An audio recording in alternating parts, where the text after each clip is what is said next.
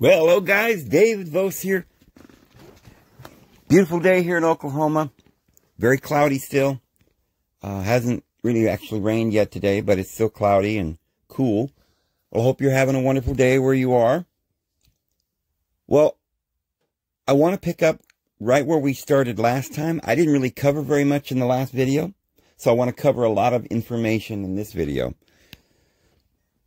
But what we're talking about then, of course, you've been following the videos, is that there are some different things that we've been looking at at the bottom of the ocean. Looks like cities and roads and so forth. And we've come to the unquestionable acknowledgement that there are vast tunnelways and corridors and something under the ocean. Now, we didn't go down there and look ourselves to see what they are, so that's why we're speculating to what they might be. And what we've basically, I think, realized in all of this, hopefully, at least for myself, is that this is something we haven't been told. We didn't know. And it's not just one of those little things. I mean, when we found out that religion was a hoax, you know, that it was literally designed to keep us away from the truth. You know, religion is what I would call government or rules and regulations. And in other words, do not touch that. What was the first do not that mankind was ever given? Well, according to the ancient scripture, the Holy Scripture, we call it the Holy Scripture.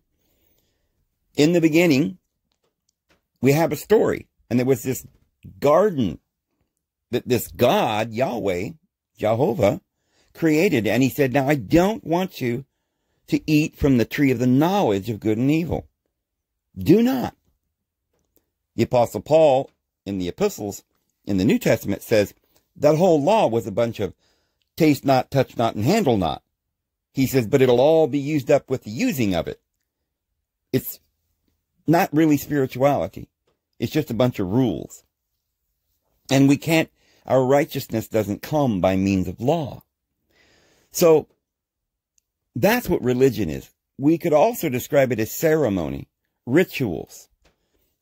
Doing something over and over in a ritual can't get you to heaven. The only thing it possibly could do, if you might imagine, it could do something for you is if there is some deity that has some magical power that could grant you eternal life or could give you something offer you something. And, but you would have to do something for that deity. If you would get down on your knees and worship him, he would give you eternal life or something. So perhaps if that God said, okay, here's the deal. Um, in order to, to get eternal life, I will grant it to you, but you have to get down on your knees. But now I want you to follow this strict ritual.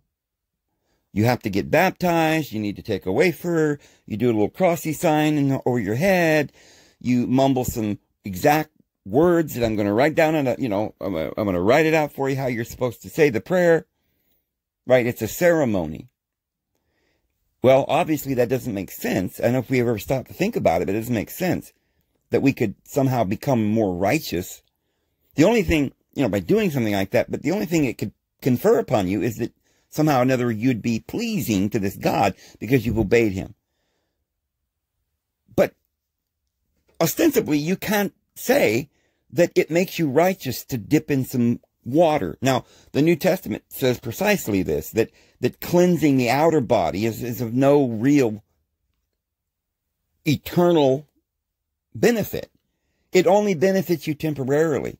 And it has nothing to do with spiritual cleanliness. It's only the bodily cleanliness. And that would be the most you could get out of baptism, is getting your body washed, which might be necessary if you get dirty. But as a ritual for eternal life, it means nothing. So these, these things that were in the Old Testament were set up as rules and regulations, and that's what we call religion. And then there were types and shadows and buildings and so forth. Well, in looking at the story, when we really begin to open our eyes and realize what the story's all about, because, you know, in kindergarten, we were just children and we were told now, God flies around in yonder heavens and he makes his commandments and we'll, you know, get to go to heaven if we do what he said. You know, this is what we were told. But when you get older and you, and you begin to read this, especially with the help of what Jesus told us about, he says, your father is the devil and he's a liar and a murderer. And how the apostles say that this, this can't cleanse you and righteousness doesn't come by law. That, that, that, that whole thing is done away. That was the bad. That was the accuser. But as an adult, we look at this and we say, well, the only thing that it seems, the only thing that this Yahweh was accomplishing was he was trying to keep us away from becoming like God. That was why he made the law. So everything that's in the Old Testament is literally going to be, if you want to know what the answer is, like what is the reason that there was religion? It was to keep us from the truth. It was the, it was the way to keep us focused on the external instead of listening to the spiritual voice within us. We listen to the external voice and it drones out that spiritual knowing that we have already. The Holy Spirit, which is within us and that teaches us all things. We need no man to teach us. But laws can mesmerize. And because with laws, there comes punishment. And therefore, this is the whole system that Yahweh set up was to keep us in bondage by fear, by fear of being punished. So he said, in his wrath, he drove them out. And he said, you will not enter in, in his wrath, he said, you will not enter into my rest. And he cursed everybody and he cursed the serpent, which we've discovered is that energy of that carnal, lower carnal nature, the animal kingdom. And there are various animals that represent various natures that are, we see in astrology. And so it was this Yahweh that makes the form, and it's the form itself, the physical form of this physical world, that we begin to get controlled by. Like the wild ravenous beast that controls us, the outer body. And we begin to lose sight of the spiritual truth. So that was the commandment in a nutshell. All these commandments, the 613 laws, were all basically appendages to the one original law. I don't want you to have knowledge. I don't want you to partake. I don't want you to become like God. And in his wrath, then, then therefore comes the punishment. And if you do, I'm going to throw you out. I'm going to curse you. What kind of a deity will curse you? Well, it wouldn't be our Father who is love. So, looking at that now as, as adults, mature, grown-ups in Christian, in, in Christ, I should say, we see the purpose. Now, if Yahweh was so bent on keeping us away from that knowledge, what do you suppose? What do you suppose that knowledge is? Well, it says right there that we could become like God and have eternal life. That's why Yahweh drove us out of the garden because he said, pre-adventure, they put forth their hand and eat from the tree of life and they live forever. He didn't want us to live forever. Why? Well, the obvious truth is, and it's all throughout the Bible, ye are my slaves, saith the Lord. It's in the Sumerian tablets. It's in the Egyptian hieroglyphs. It's all throughout religion. We've been told this stuff so that we never know who we are, to hide that little baby Christ in that dark little manger, because the little Christ was born in the manger, and Herod was after the baby. You see, this, this deity is after your soul. He doesn't want you, because he knows that Christ is going to grow up and reign and, and defeat the works of darkness, defeat his laws and his rules, because Christ went to the cross and nailed the law to the cross. And he told the Pharisees, you hypocrites. And he said, your father's the devil and a liar and a murderer. And he says, look, I've come to give you life and that more abundantly. So we go back then to this Old Testament and we see that this religion, religious ceremonies, rituals, sacrifices. Bring me offerings. Give me your gold. You know, go and go forth in armies. He's the God of war and the God of armies, and he teaches my hand for warfare. And he said, exterminate the nations and make them all get down on their knees and bow down to me. So this is another one of his tactics. Religion, propaganda, that's what the whole, the Torah is instructions. And you will go every seventh day to get your instructions. But you know, can only, you know, he needs you to have instructions. That's why he takes one day out of the week and, and makes sure that you get those instructions and you go and read the Torah. The other six days, he wants you to be a slave. You know, you must work for six days. And that word in the Hebrew is to become a slave for six days. Do all thy slaving labor. Do thy labor. So, to this day, this government is exactly the same. We go to the court. They got robes. It's a court, the courtyard of the temple. And this man says, you can't do anything unless you get my authority.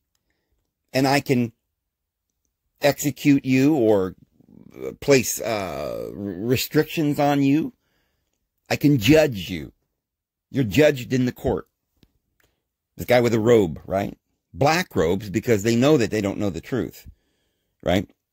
You go to college and you get uh, a black robe when you graduate. What's that? You know, how, why shouldn't it be white? Well, if you go further and get your doctorate, you get a white robe. Doctors have, scientists have white robes. You haven't gotten your little white robe. Now, what they're saying by that is that, you know, just what we're teaching the peasants is not the truth. We're lying to you. We're keeping you in bondage. You don't actually have to be in bondage to us. This is all a lie. This is all deception. And all you've done, you've spent all these years in school, and it's just a bunch of lies that you've been listening to.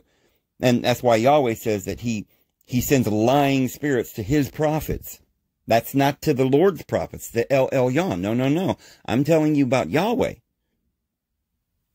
And, and there was one of his angels that came to Yahweh and, and said, he says, Yahweh, I've got an idea. Let me go down there as a lying spirit and I'll put lying words in the mouth of their prophets and I'll deceive them all. and Yahweh says, ah, oh, that'll be a good idea. Do that.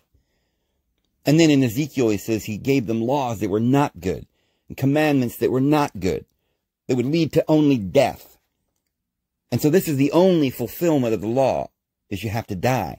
You got to pay the uttermost farthing down here in his kingdom, in his wonderful, amazing bondage that, that we're all living in, because he made in the second chapter of Genesis, he, he formed Adam from the dust, the elemental dust, and he formed the whole garden and brought these animals to him this nature that we're living in, which would keep us from the tree of life, right? The spinning, the, the cherubim, which is the four faces, right, of the cross section of the astrological wheel, the zodiac.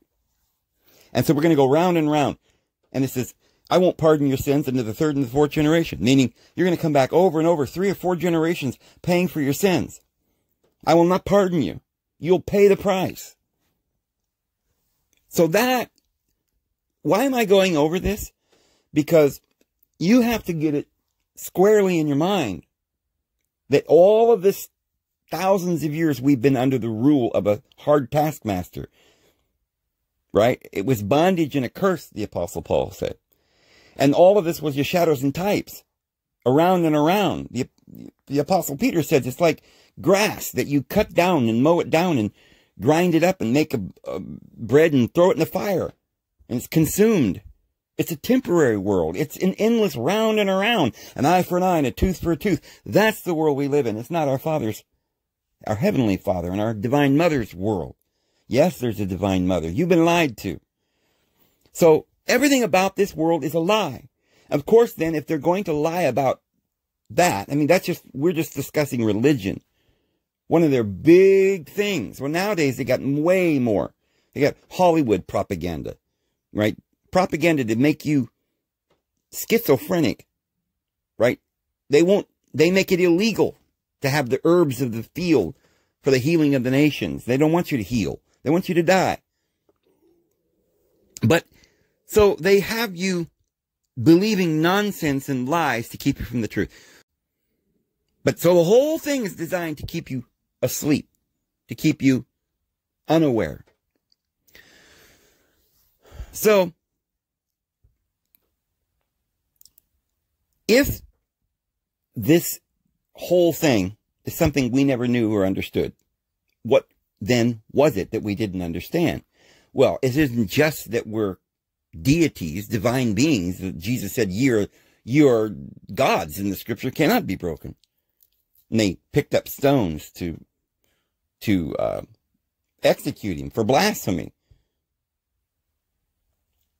Because he said, you makest thyself equal unto God.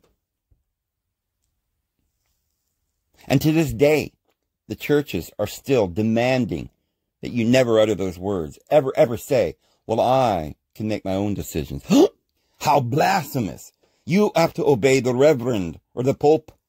You know, he's got edicts and paper bulls and, and we're under his, uh, you know, decisions that he made, the decrees and, you know, you have to do everything they say or they'll have a complete mental breakdown and, and, and, and, and if you don't listen to them, they'll do whatever they can. They shun you, murder them if they didn't obey. So obviously they were really, really, really making certain that nobody on this earth ever woke up. So what happens when Jesus comes along? Well, there was a legion of these demonic beings that were controlling. since this man had a legion of demons. That man, just like all the other people, you know, all these symbols and parables in the New Testament represent the old law covenant and the people that were bound by those laws. They used to take and, and the man was flopping around crazy. They couldn't control him. So they had to bind him with chains. See, that means that you are that man filled with all these wicked ideas and lies that Yahweh is telling you, his demonic lies. And you were bound and chained to a rock, but you weren't bad. You know, everybody was scared of this guy because they were like, oh, well, you can't live without laws. We've got to control the world. We can't, oh, we're scared of, of having somebody to become free. We can't let people go free. We've got to build more prisons. And Jesus said, what are you talking about? What are you scared of? Let the man go. And he says, now, Man, I'm going to tell you the truth.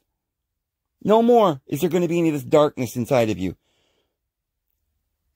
We've got to expel these demons, these unclean spirits. What is an unclean spirit? It's lies, accusations, shame, hate. Get rid of the hate. Stop going to war. Stop believing the lies. And so when Jesus came, those demons, they knew who he was. Because that's that inner spiritual Christ that has power, that sits at the right hand of God. And they saw the light. And they knew the light. They said, we know who you are, Jesus. Have you come to torture us and torment us before our time? Oh, there's a time. There's a certain time, the appointed time, that these wickedness, this darkness has got to go. And so that represents the fact that there are these ages.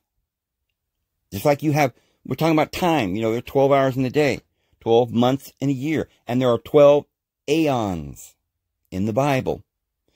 And so we're about to go into a new age.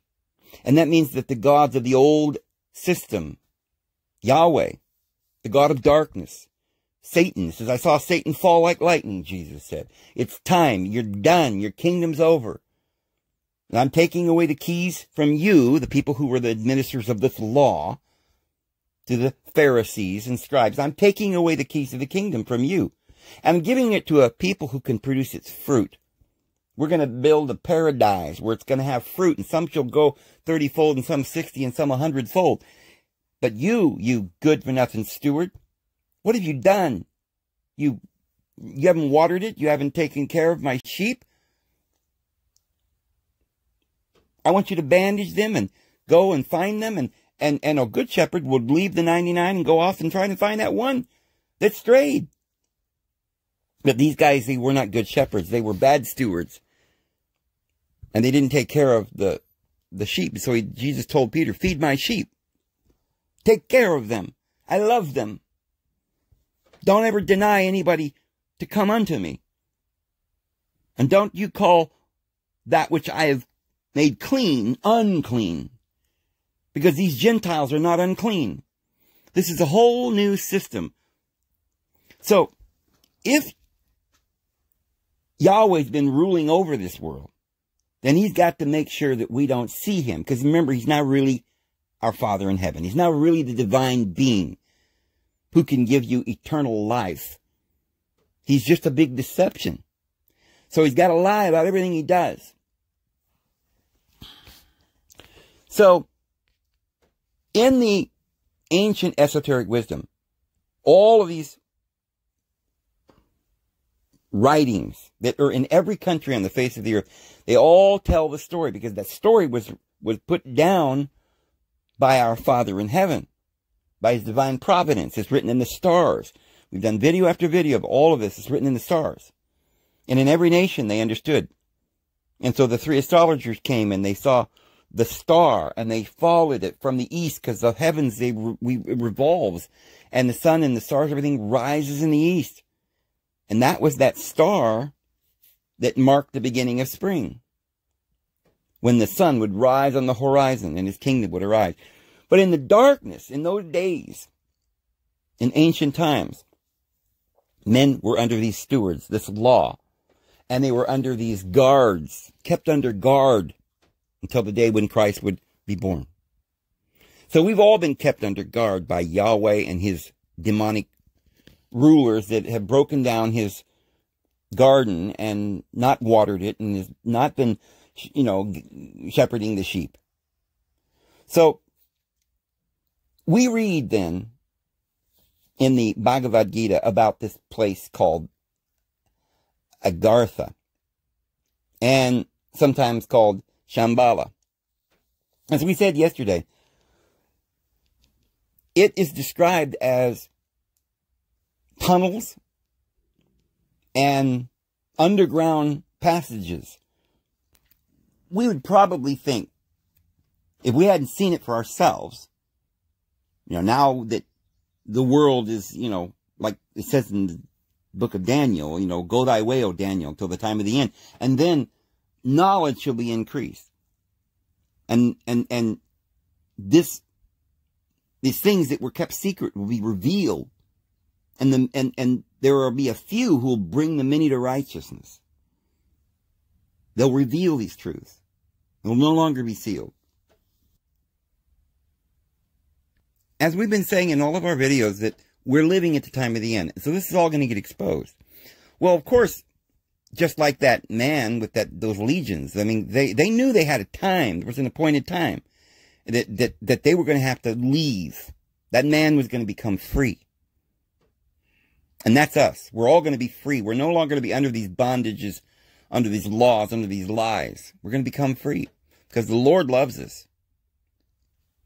And so, what, what do you suppose would happen if the world started finding out that these, you know, if Yahweh started to find out that we were finding out that he had no authority, that he was a liar, well, he probably in his wrath would would would uh, be pretty angry. He'd come down, you know, it would be a war, right? You'd have to kick him out. You have to drag him out kicking and screaming.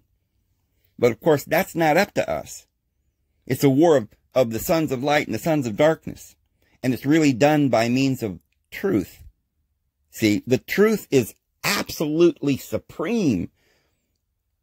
Every, whatever you say in the name of Jesus Christ, buddy, it's got to be done. Because they, the demons believe and they shudder.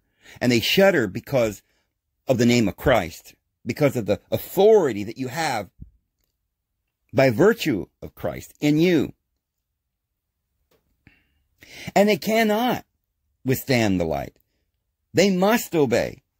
And the angels obey the word of the Lord. So what do you think Yahweh can do? Well, the only thing he can do is try to hide it. try to hide this truth that's coming, this revealing. We dug books up. So what does he do? He drags his feet and he tries to say, oh, we can't translate. We don't have, uh, you know, the, the churches try to put it down in a dungeon in a monastery somewhere. We don't allow to read that. Don't translate the Bible into the common language. And then if you do finally get it translated, what they do is they, they make, they have money, you know, they, they have banks, they can finance propaganda and lies. So they just tell you, oh, don't, don't read it for yourself. You listen to the priest. He'll tell you. Or they'll, they'll, they'll say, oh, we're going to go have a Bible study, but it's really a, a book study. Yeah, it's not a Bible study, it's a book study. And the book is full of propaganda to program your mind to never believe when the truth comes. This is what's happening right now. The truth is, has come into the world, but the world has loved darkness rather than light, Jesus said. And when he arrives, will he find faith on earth? Can, can these people wake up? It's been so long they've been accepting the, you know, they're addicted to these terrible things. They prefer this unreality, the darkness. So this is what we have to do as Christians. We have to teach people the truth. So as I'm telling you about this, many of you are saying, oh, this is impossible. There can't be corridors under the ocean. What are they doing down there? I believe in government, Dave. Why the shot? I'm going to get mine tomorrow. They said it's good for us. Well, huh, this is happening right now because they want to keep you completely, permanently in the dark. Because if you can get through this, if you can stand firm in your faith, the Lord has promised us. We have to have faith to believe, but when we speak the truth, we're, we're going to become free. We'll gain victory by the word of our witnessing, by our testimony.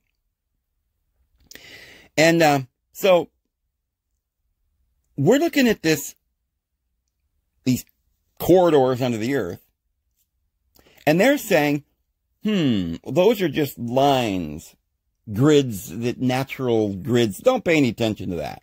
So in the last couple of hundred years, as we're digging up these ancient manuscripts, the church is frantic, running around telling their congregations, don't read it. If you do, you're going to hell. That's the occult. Those are witches. We killed those. Don't you be a witch. Oh, that's a wise person. Well, don't be a wise person. Just be stupid and listen to the this guy in a robe, which, as we said, you know, Jesus told us completely and for certain never to, to have a, a, guy in a robe telling you what to do. Don't call any man your rabbi or your teacher or your reverend or, or certainly not your father or papa or pope. You don't believe them, Jesus said. They're false Christs and false apostles. And, and they'll say, didn't we do many powerful works in thy name? He said, get away. You're far from me. I don't know you. Who are you? You're teaching against me. You're hurting my family, my brothers and sisters. But they're frantic, telling everybody, don't listen. So we were talking about Madame Blavatsky, Helena Blavatsky. And we were talking about how she came out with this, all this esoteric wisdom, and she compiled it. Now, some say, oh, there's a lot of plagiarism, and, well, you know, couple hundred years ago, you, you know, there wasn't any computers. So she was, she had a lot of books around her that she was evidently reading and compiling all this information. So she compiled a great deal of information. Ellen White did the same thing. They say she plagiarized. Well, it just means that she wrote information from histories and phrases from the Bible, and they didn't have plagiarism laws in those days. And that's how they compile all this information, like a big uh, dictionary. Okay, there's nothing wrong with that. Um, but here's the claim of Madame Blavatsky. She says, she's a very interesting story. If you, I don't think we're going to have time to tell the whole story, but it's a very interesting story. Her name wasn't Blavatsky. That was her married name, but, um, and she, they only were together a few days or something and she left him. But she continued to keep that name. I guess many years later, she ended up reuniting with him. They had a child, but for years, I mean, they really didn't have any relationship as such. But her, her maiden name was Von Hahn, and it was a royal bloodline up in U- the Ukraine. So her father was quite important, and she probably had some kind of, you know, it's hard when you're reading her story, they don't really tell you a lot of stuff, but she was able to travel all around the world. A lot of times you see these pictures where she's kind of dressed, eh, either she is trying to dress like someone regal, but she had a lot of influence, even when she was very young. And she ended up, seemingly out of some strange coincidence, just being there when a lot of very important people happened to be there as well. There was a time when she was here in America where this uh, spiritualism began. She was right at the forefront of one of these spiritualists that, that you remember back in the New England area, there were up people up there were hearing these uh, unusual tappings and people were claiming that they could, they were psychic and they could uh, make cups levitate and so forth. So, this is not something that people are told in the New Age movement. They don't, they don't get the whole story about Madame Blavatsky. But she dabbled around in that. Now, to be fair, she said that the people that were doing that a lot of them were just faking it. And she really didn't believe that they were, it was the dead, you know, talking to people through rappings. She was there and she was investigating it more than anything else. At the very same time that she was there investigating all of this, because like I said, she seems to be everywhere at that, in that century and met just about everybody, very important people. Well, at the very same moment that she happens to be there, and she was actually demonstrating some psychic ability and some uh, clairvoyance and so forth. And there was a guy that was studying all of this named Olcott. He was also kind of an important man. There were some other individuals there that uh, some were uh, said to be like high up Freemasons that were there. And they were interested in Madame Blavatsky from the very beginning, even before anything, before the stuff that we're going to talk about happened. They seem to be in, enthralled with this woman, and she's just a young lady. She claims to be able to do some clairvoyant thing or whatever. And she's going around from place to place. She went to Egypt. She went to, you know, she claims she went to Tibet for a long time. And some people are saying, well, we don't even have any records of some of the places she says she went. Well, we guarantee, I guarantee there is a record of, of a lot of places that she did go. I mean, there's no question that before her career is over, she single-handedly, with her and Olcott or some other individuals that were involved in the Freemasons, her, her father, her paternal ancestry, they were heavily involved in Freemasonry. Because like I say, we're like a royal bloodline up in Ukraine. And so she ends up being able to just go everywhere. They let her into Tibet in the area in a time when, when they're claiming nor, nobody was ever allowed into Mongolia up, up into that area. And yet she went there and, and, you know, had these meetings with these individuals that uh, today has come to be known as uh, these Mahatmas or masters. And she called them, originally all started with these two Mahatmas. One was Morya, Master Morya, and another one was Master Kumi, uh, Hoot Kumi. That was his name.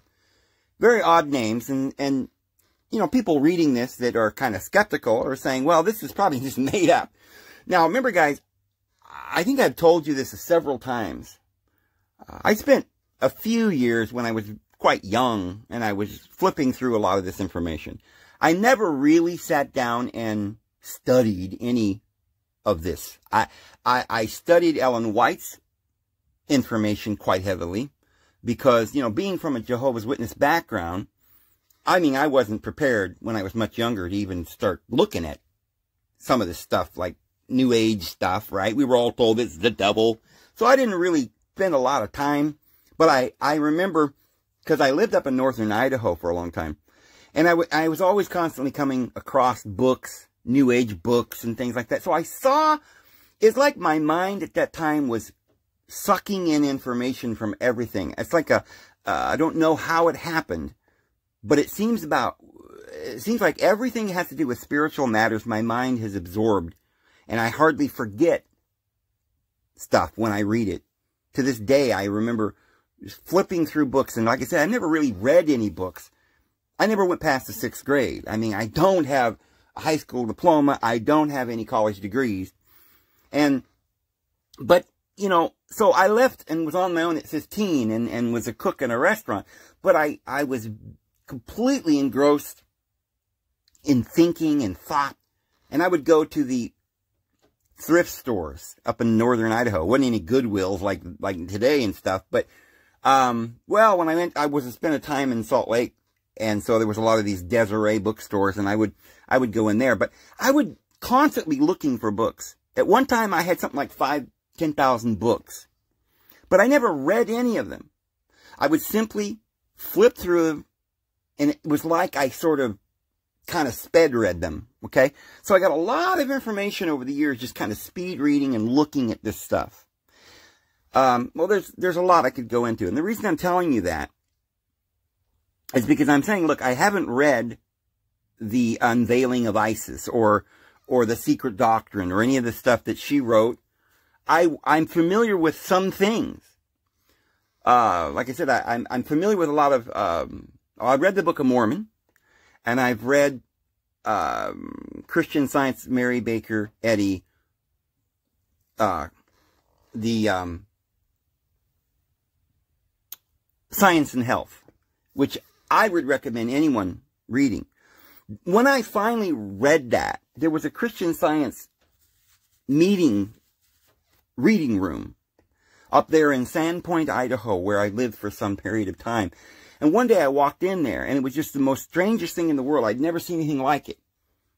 And it was all women that would get up and, and they didn't, I don't know if it was like against our religion or whatever to have a man. But it, uh, basically, I guess there was no pastors or, or, or leaders. There were just readers.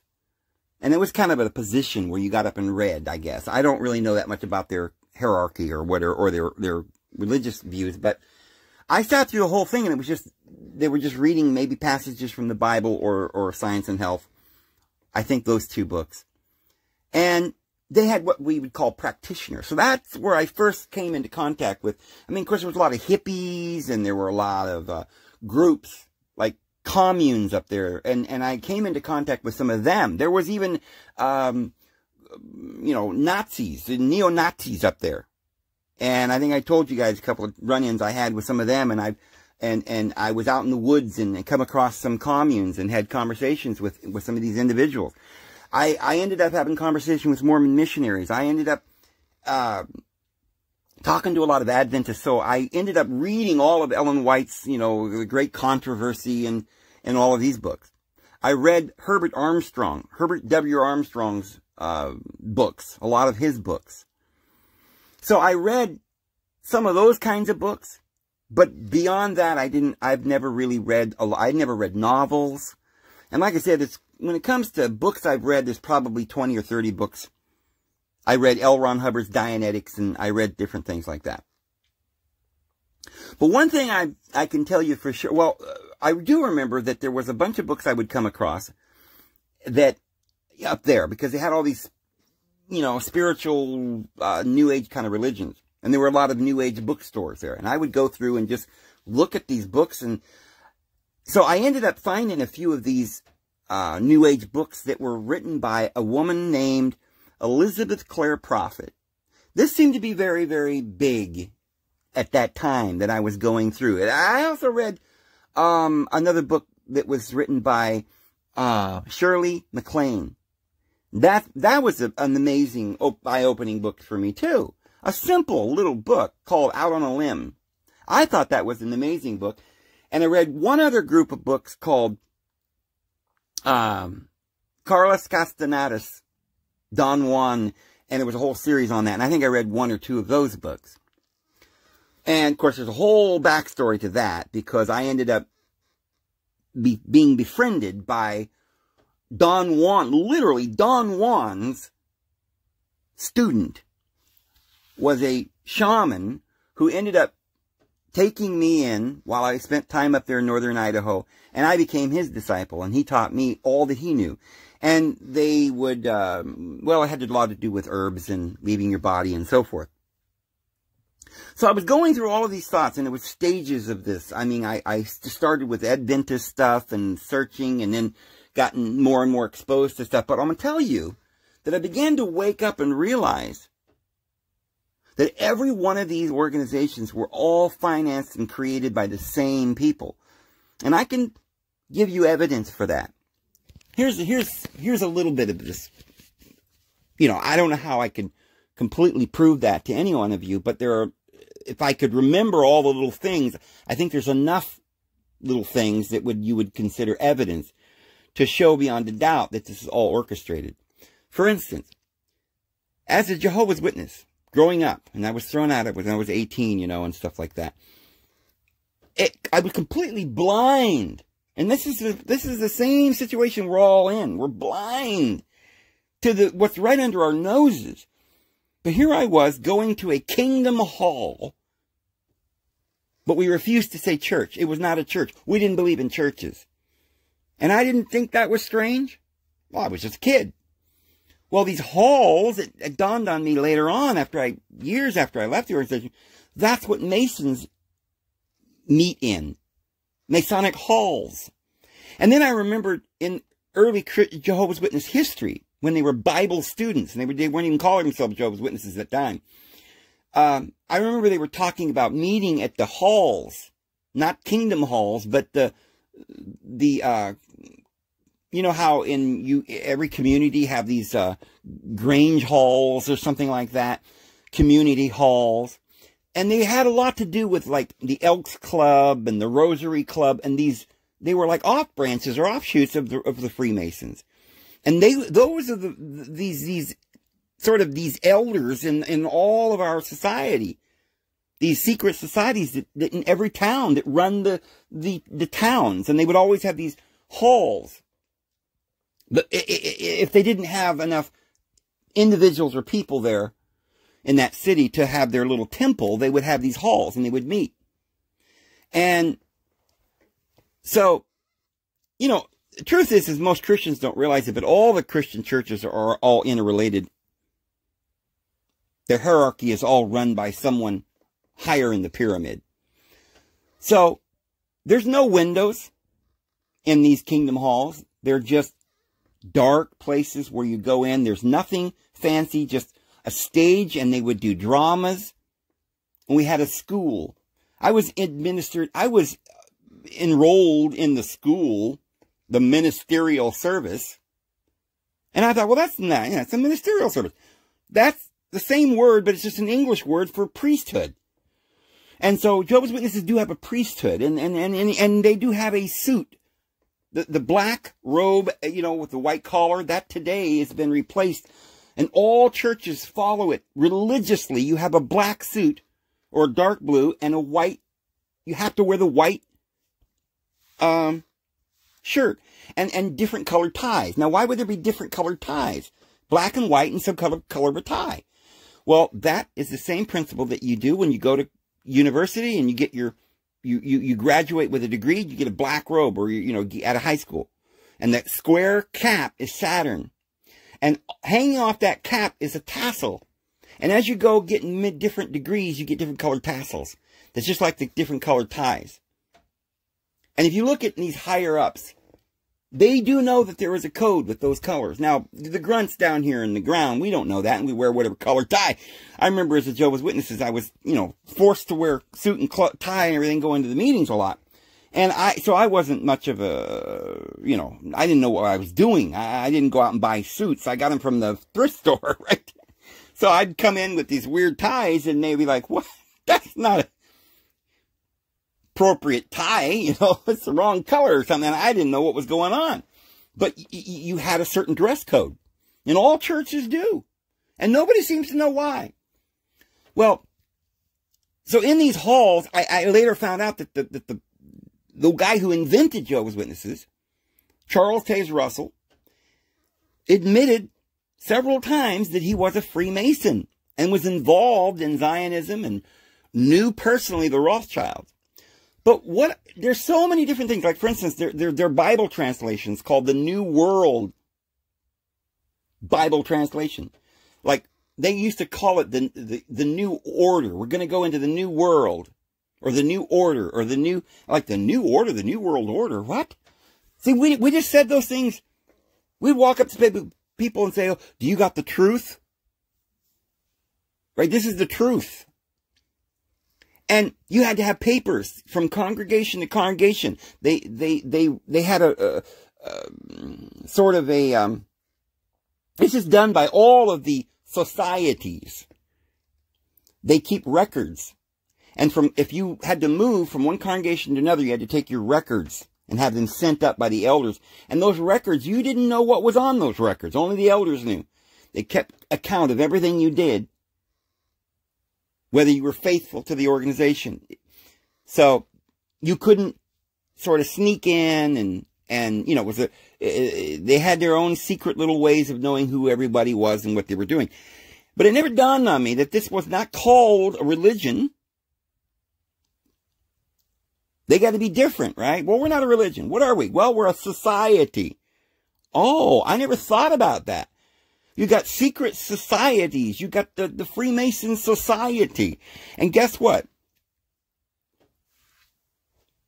Madame Blavatsky created, her and Olcott and a couple of others, created this Theosophical Society. Right around the same time that Russell started Jehovah's Witnesses, Ellen White, just like Mary Baker, eh, well, just like uh, Madame Blavatsky, was married to some very powerful Freemason. You know, Mr. Kellogg, uh, making, uh, these, uh, these, uh, sanitariums, right? This is what Christian science did, making sanitariums and, and, and the Theosophical Society making sanitariums. There were high up individuals who were making these societies everywhere. And they would have, um, regions and districts over their societies. There's all kinds of you, there's absolutely no way once you see all the different words that are inter interchanged between these, all these different societies, there's no way at, at some point you realize that it's kind of like looking at, at satellite pictures of under the ocean and you see all these lines of symmetrical and right angles and you know that this is not just natural. And so the above ground, we're looking at all of these kind of like passageways between, you know, like organizations, kind of like cities, kind of like contrived organizations, societies, in which they would group and gather all the people of the world and mind wash them, brainwash them. Whether it was you were either raised in the uh, uh, the Baptist or the Lutheran or the Buddhist or the Catholic or the Jehovah's Witness or the Mormon or whatever, you're all raised in something and you're all wearing little black robes and you're all just out of some crazy, you know, monotonous uh, commandment. We're told we have to go every Sunday to this building and get our instructions. So, from, you know, hundreds of years ago, I mean, back in the 15th century and stuff, you had all these what we call organizations or societies. And they use these specific words and they would have branches. They would start another charter or another branch and they would always meet in lodges or halls. This is lingo. They have a jurisdiction. It's kind of like the same lingo that was, that they use sometimes in the court system. You know, you have jurisdiction in, in, in police stations and stuff like this. Well, so all of these words, if you go and take a look at the Theosophical Society, they use all the same words that the Watchtower and Bible and Tract Society use. They have branches. They have regions. They have districts.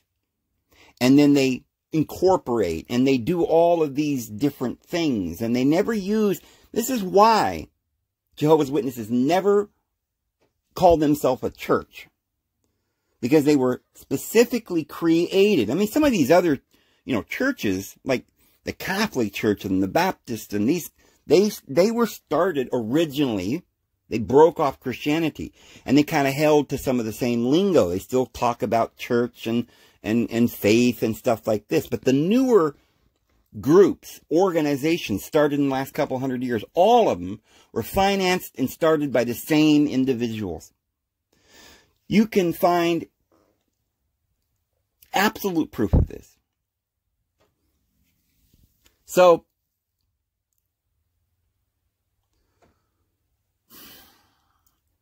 who then really started all these groups and organizations and charters and branches of these other organizations that were sort of tiers under the pyramid system, this one world system, this new order that they were creating in the last couple of hundred years with Zionism and the protocols of Zion and, and, and, and the creation of the state of Israel.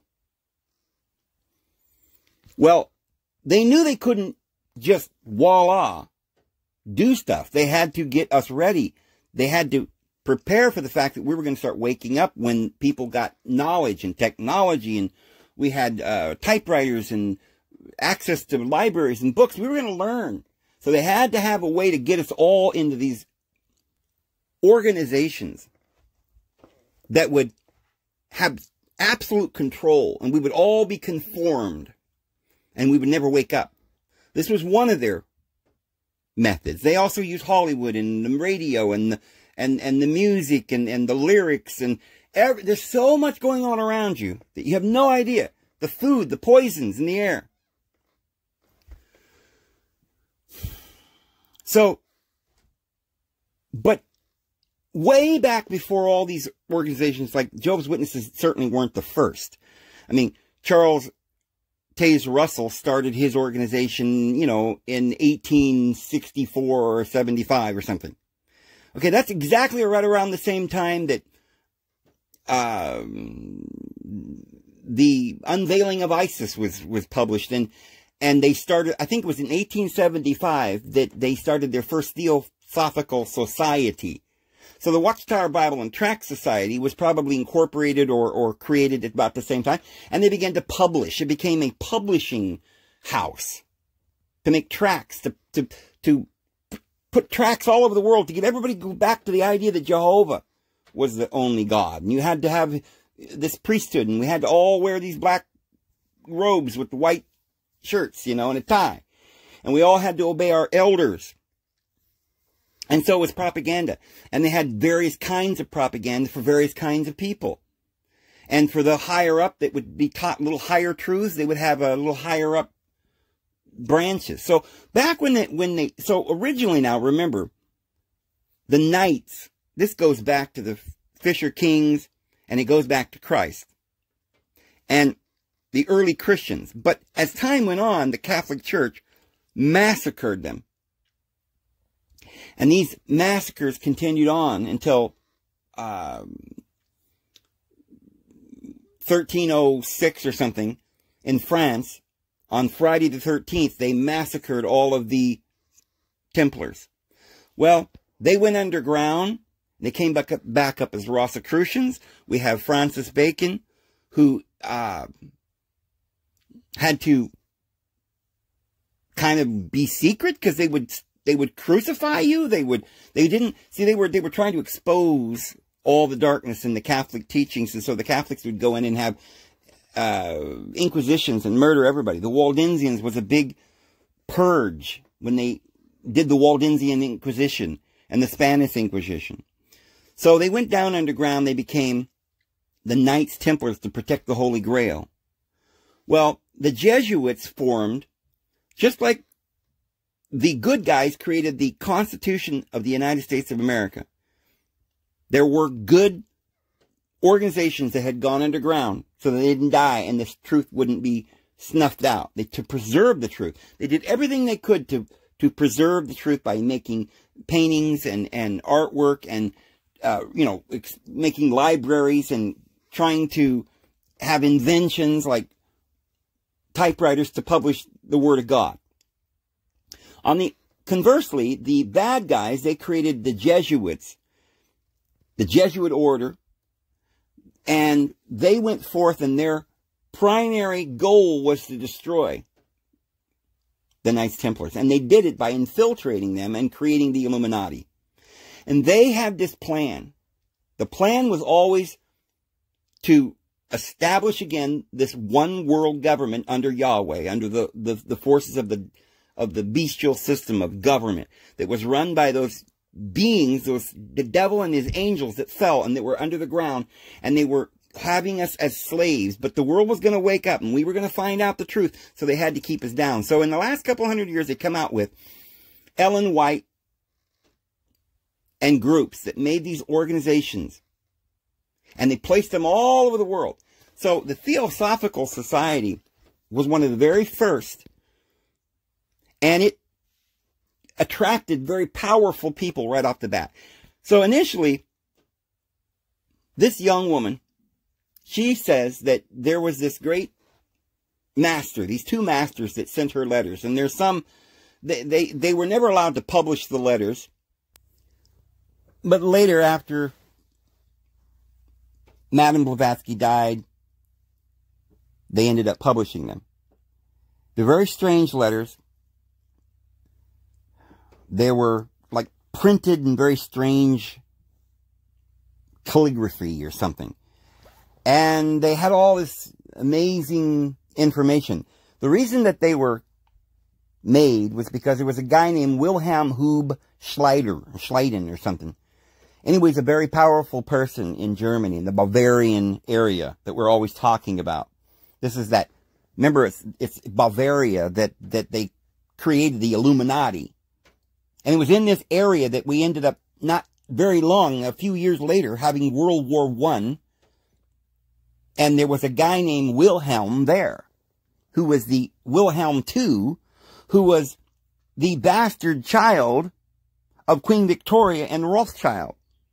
Because you see, the Rothschilds ended, ended up having nine children with Queen Victoria. And those kids went in and took positions of power all around the world. One of which was Wilhelm II, that went to Germany there in the Bavarian area and started World War One. It was part of the plan. Now, they named this institute Wilhelm Institute after this man. And the Wilhelm Institute is where they created eugenics, this is way back world, starting with World War One. Hitler didn't start this. He was also, Hitler was a bastard child of Queen Victoria, uh, the gr- grandson, and the Rothschilds. He was one of the, a grandchild of, of Nathan Rothschild. And so was this Wilhelm too. And so this was all completely planned. And so this individual creates this institution of learning where they study eugenics, how to poison people, where they first started working towards building computers so they could completely map the world and control everyone. And meanwhile, this is where they created the Illuminati with Adam Weishaupt in 1776 as a counter juxtaposition to the Constitution of the United States created by Washington, who were true Freemasons that go all the way back to the Fisher Kings. But the Illuminati infiltrated all of these groups. And they infiltrated the Rosicrucians that came up in that Bavarian area and created the Illuminati. And this institute, the Wilhelm Institute, who, by the way, Einstein was a director of. I mean, you don't think he knew something bad was going on there? Oh, he didn't know, Dave. he was a good guy, right? He's just making in science, right?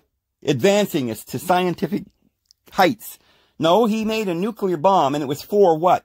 Violence and death and to murder and to plague mankind. Why do I know that? Because they had already been working on eugenics at that place. And that was where they invented all of these amazing things and philosophies.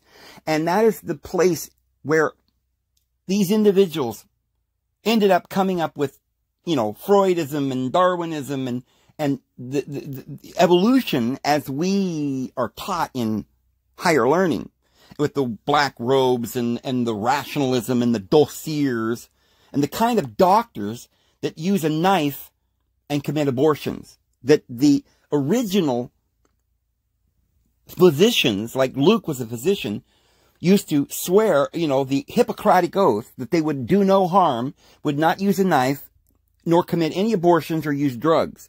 And it was called sorcery when you did that. And this is what the Bible warns us of. So I'm, I'm well over an hour and I'm just now getting into the information that I wanted to tell you about. So I'll continue on for a few minutes, but we're going to have to go into another video for tomorrow.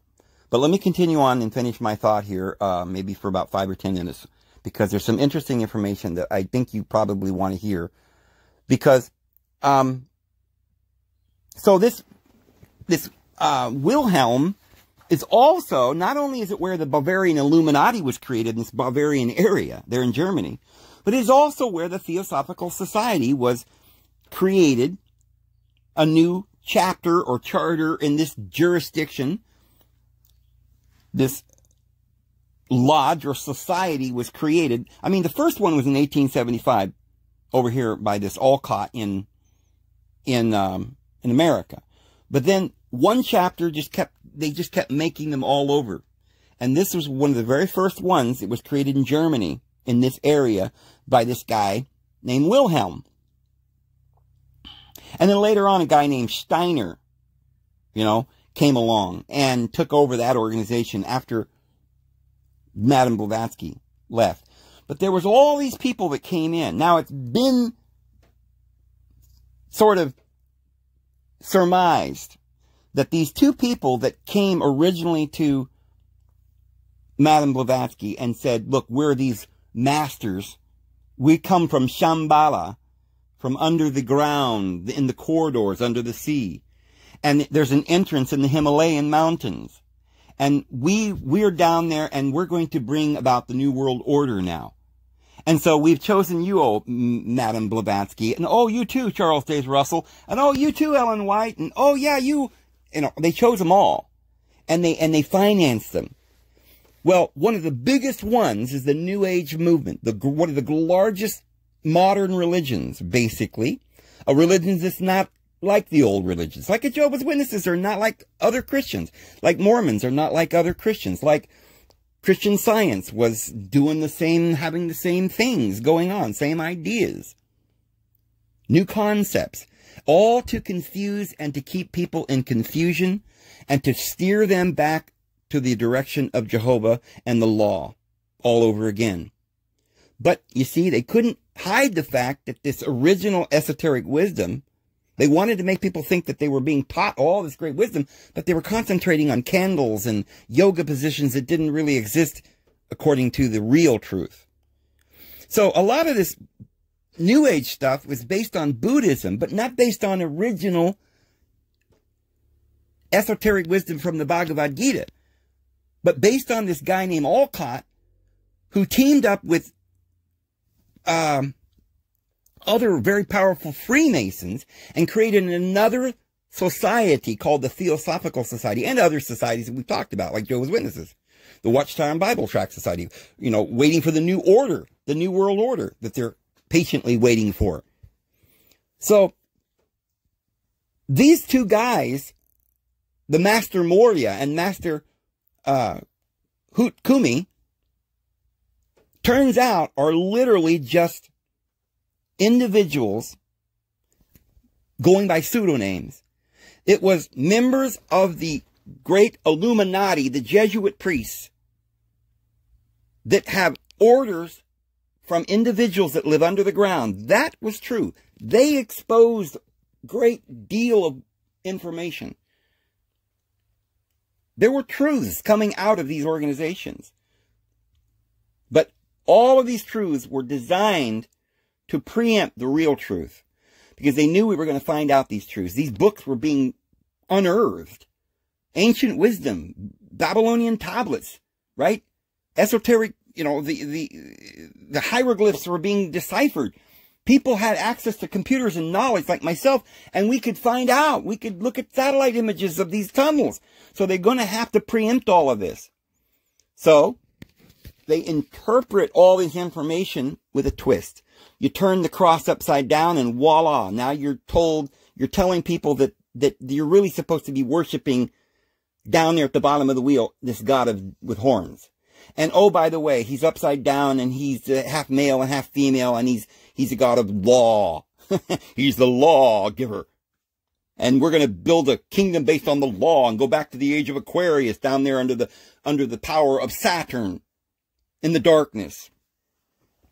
And so this unsuspecting poor Ellen White gets married by this powerful Freemason is told to write down all this stuff because they they did this. In Germany they did this. And all around the world they would take people that were able to to to they had the the the, the um wherewithal and the mental clarity to be able to sit down I mean literally it ruined this woman's life. Madame Blavatsky died young.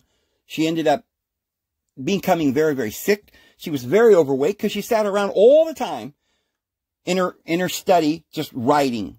Writing, writing, compiling, compiling these huge mass of information, and then voila, the uh, very powerful people of the world financed and published all of her work, and, and these powerful people like uh, Steiner, right, and and Olcott, and and you know later on, we haven't even got to Hitler. People that were in the Theosophical Society, remember they used the swastika. Madame Blavatsky used it right on her literature. And it, and, and it was right there in Germany where all this got started. The Theosophical Society, hand in hand as one of the umbrella organizations under the Great Pyramid of the Jesuit priests. And another one is, yes, you guessed it, Jehovah's Witnesses and all the others. Under the umbrella of these liars that were being completely deceived and lied to by very powerful emissaries of the dark forces that live under the ground.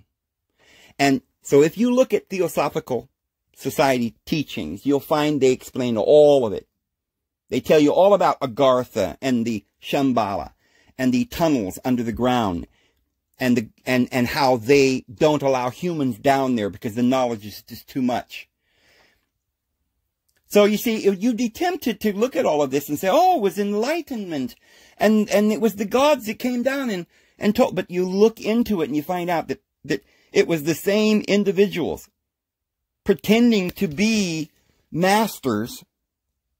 Think about what they, what they invented, the idea they came up with. The Great White Brotherhood? Really? Remember what I told you about that, that book I ran across by Elizabeth Clare Prophet? Well, I remember thumbing through that book. You know, I didn't really read any of them, just sort of sped read them. Sometimes I thought I could just sort of just take a look at it and kind of know what was in there. I learned so much just, just flipping through the, the pages. And I noticed that this Elizabeth Clare, Clare Prophet, at that time I had no idea what was going on, but she was talking about all this stuff about Morya, El Morya, you know, or the, the Master Morya. And, and she, she mentioned all these different names that they were part of this Master White Brotherhood. I think, where's she getting this stuff? I didn't know it at the time, but these were all names, pseudonames that Elizabeth Clare Prophet was being controlled by. These were individuals that were, had access. Elizabeth Clare, or I should say, Madame Blavatsky had access to a underground tunnel that went down in the Himalayas. She went to Tibet and lived for some time. They ended up to, in Sri Lanka, creating an institute and, and, and, uh, and, you know, the Theosophical societies were established all over the world. And so now the New Age movement is no longer Buddhism. It's just these teachings that these guys have twisted. Telling everybody sit in a yoga position going, oh, I'm beating their head up against the wall. Coming over here and telling Christianity that all you got to do is go to church and be obedient and you'll be fine. Get the shot in the arm. It's all propaganda. I can prove it. And I'm going to need some time to do that. So I'll go ahead and go further into this. And we're going to do at least two or three more videos on this. We've got to go through all the we're not even halfway through Madame Blavatsky and what happened over there with the Wilhelm Institute and the Theosophical Society and the Watchtower Society and all these other societies and the, and the, and how they took over the Freemasons and murdered Joseph Smith, who was one of the last Freemasons after um, Francis Bacon ended up leaving this world.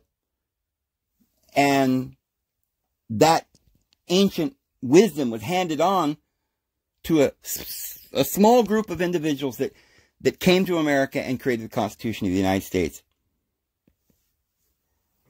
And the Smith family was directly in line and initiated by those original founding fathers. A lot of people don't realize it, but Joseph Smith started in New York, not in Salt Lake City, and around Philadelphia and Boston. So anyway, we'll, there's so much to cover, but we got to get through all of that, and then we got to get through what happened with Hitler, because, you know, this is now we're just, we're in World War One, right, with the Wilhelm II.